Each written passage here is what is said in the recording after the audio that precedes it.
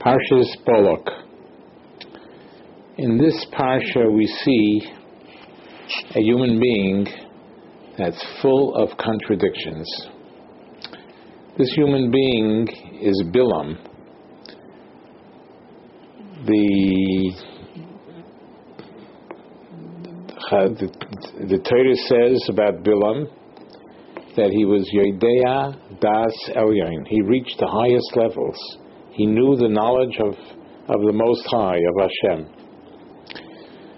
Chazal tell us that he reached the level of prophecy of Moshe Rabbeinu. As it says in Chazal, "V'loikom Navi Oid Yisrael Kamoshe." No other Navi, no other prophet was reached the level of Moshe. Be Yisrael um, in, in Klal Yisrael, there was no never a prophet that reached the level of Moshe Rabbeinu. Avol be'umei sa'olam come. But in the nations of the world, there was somebody who was the level of Moshe Rabbeinu, Umanu, Umanu, Umanu Bilam. Who is he, Bilam? Bilam reached the level of Moshe Rabbeinu. Could we fathom the great levels of prophecy that he reached? He knew Das Elyon, he knew the knowledge of the Most High, and he reached the level in prophecy of Moshe Rabbeinu. On the other hand, he, in his own personal life, he was the lowest of low. Chazal tell us that he that during the day he rode on his donkey. That was his vehicle of transportation. But Ishus Balayla, at night, he was intimate with his with his donkey. And the question is, how could a person that reached level, such a prophet, such a such a high level, how could he possibly sink to such a low level of being the lowest of low? How could it be?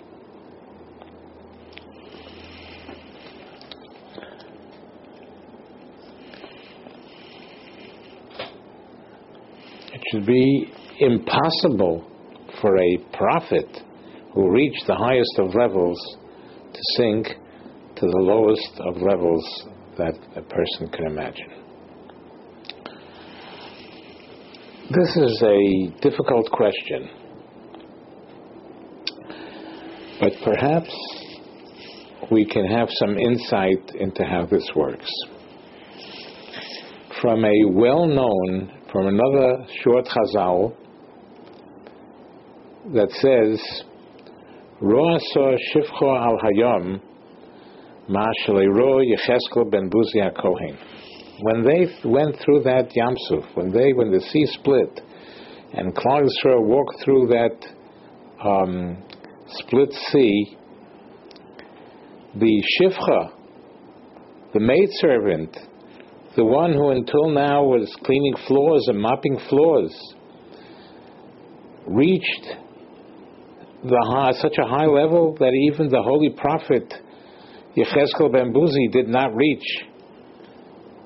They looked at the heavens and they said, Ze keli This is my, my God. This is my God. Sort of to say that they pointed their finger to that they sort of were on such a level that they saw God, whatever that means, they were on a tremendously high level. Yecheskel ben Buzi did not reach that level. What happened to these maidservants after they walked through the Yamsuf, after they split the sea? They came back and they continued mopping the floors. Now, what is the difference between these maidservants where they just um, saw what they saw at the incredible event of, of Kriyas Yamsuf, but afterwards, right after they walked through the Yamsuf, they were back, back in business again. mopping floors. Whereas Yecheskel ben HaKoyen, did not reach their level, but he remained the prophet that he always was. What is the difference between the two? Comes along my Reinu Moran Agoin Reb Chaim Shmulevich Zechet Tzadok Levrocha, and he teaches us the difference between them. That the Shifcha al Hayam did not sweat to reach their level. They did not have to beat the Yetzer Hara to get to the level of holiness that they reached. It was given to them, it was granted and given to them as a gift from God. Whereas Yecheskel ben Buzi, Yecheskel ben Buzi, the holy prophet, he had to earn it. He had to beat his Yetzer Hara. He had to harava. He had to he had to learn Torah. He had to he that's lasting. When a person has to do that, then that holiness is lasting. When a Shifcha al Hayam, when this maidservant was given a gift from Hashem of holiness, of greatness, that's not lasting. Holiness has to be earned. You have to fight the Yetzer Hara. It's a blessing to fight the Yetzer Hara. When you fight the Yetzer Hara and beat it, it gets you to the highest places. And that perhaps is the secret to understand the contradictions by Bilam.